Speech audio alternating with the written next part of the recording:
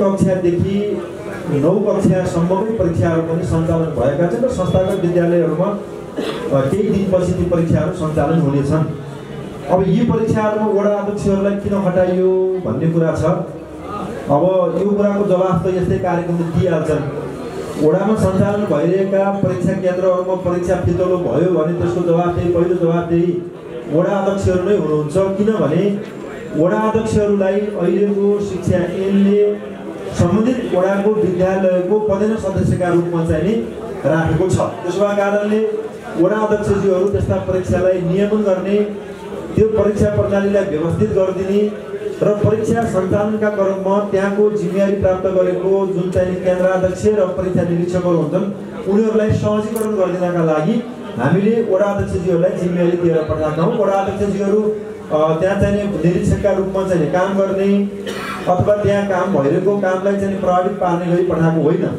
निरीक्षक त्यहाँको परीक्षा केन्द्र अध्यक्षलाई आवश्यक समन्वय र सहजीकरण गरिदिनका लागि विशेष गरी यहाँ धेरैजना अभिभावकहरू हुनुहुन्छ। तपाईँहरूबाट के गुनासो आयो भने अघिल्लो पालि परीक्षाको प्रश्न पत्रहरू परीक्षा केन्द्रमा जानुभन्दा पहिले नै बाहिरिन्छ भन्ने कुरा आइसकेपछि अहिले त्यो परीक्षाको प्रश्न पत्रलाई हाम्रा जनप्रतिनिधिहरू वडा अध्यक्षज्यूहरूको रोबरमा परीक्षा केन्द्रमा नै खोल्ने गरिकन चाहिँ हामीले उहाँहरूलाई जिम्मेवारी दिएका छौँ र त्यो परीक्षा सम्पन्न भइसकेपछि त्यो प्रश्नोत्तर पत्रहरूलाई पनि सिलबन्दी गरेर नगर शिक्षामा चाहिँ ल्याउने बेलासम्मको लागि उहाँहरूलाई चाहिँ जिम्मेवारी दिएर पठाइएको छ। यसलाई अन्यता लिनु हुँदैन भन्ने मलाई लाग्दछ। र सार्वजनिक सम्पत्तिहरू कोलको नगरपालिकामा रहेको सार्वजनिक सम्पत्तिहरूका विषयमा लेखेको समाचारका विषयमा आपत्ति जनाइएको थियो। अहिले त्यो सार्वजनिक सम्पत्तिको संरक्षण कति भइरहेको छ भन्ने कुरा चाहिँ नै उठेको छ। पक्कै पनि कोलको नगरपालिका क्षेत्रभित्र रहेको नगर विकास क्षेत्रमा अतिक्रमित विशेष गरी क्रिकेट मैदान आसपासको जमिन बाहेक कोलको नगरपालिकाको अन्य क्षेत्रमा रहेको जग्गाहरूलाई अतिक्रमित जग्गाहरूलाई वडाको सिफारिसका आधारमा कर्मश कर्मश हामीले चाहिँ त्यो सम्पत्तिको संरक्षणको अन्तिम चरणमा छौँ। एकाध ठाउँमा बाहेक अन्यत्रको जमिनहरू चाहिँ नि हामीलाई प्राप्त भएको सूचनाका आधारमा त्यो अतिक्रमित जमिनलाई संरक्षण गर्ने क्रममा हामी लागिरहेका छौँ। त्यसका तथ्याङ्कहरू हामीसँग छन्।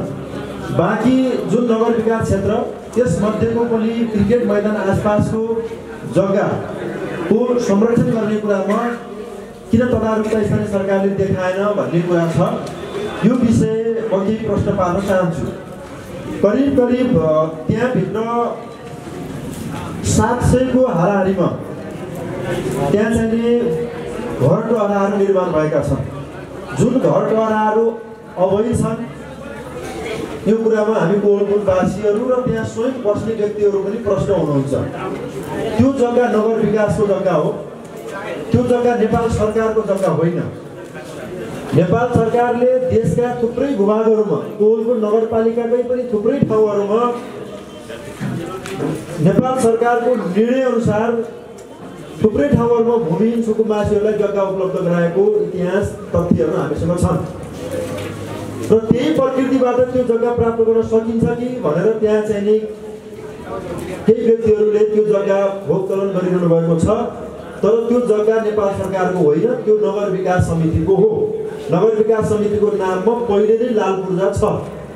नेपाल सरकारले पनि त्यो जग्गालाई उपभोग गर्नु पर्यो भने नगर विकास समिति मार्फत खरिद गर्नुपर्छ किन्नुपर्छ जसको उदाहरण यही यो तपाईँले राजस्व कार्यालय हेर्नुभएको छ यो नेपाल सरकारको कार्यालय हो।